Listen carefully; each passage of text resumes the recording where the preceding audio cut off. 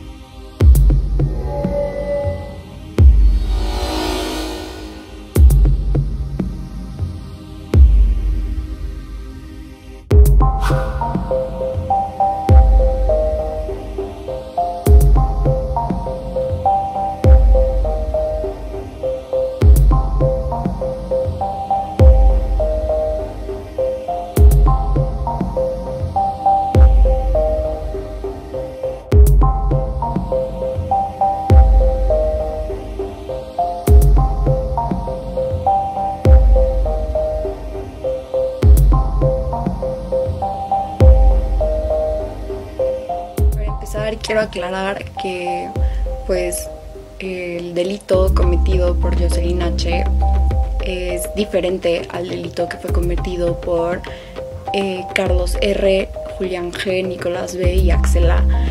Por lo que son procesos diferentes y van a tiempos diferentes. Es por eso que pues eh, se libró una orden de aprehensión contra ella y aún no contra ellos, porque lo mismo de que son procesos diferentes, eh, no significa que un caso sea más importante que el otro, no significa que no esté buscando justicia por lo que me hicieron estos tipos.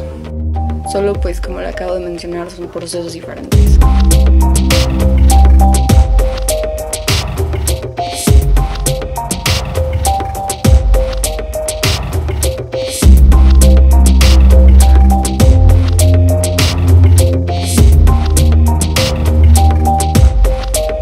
Para empezar, mucha gente piensa que ella solamente ejerció su derecho a la libertad de expresión y que solo dio una opinión.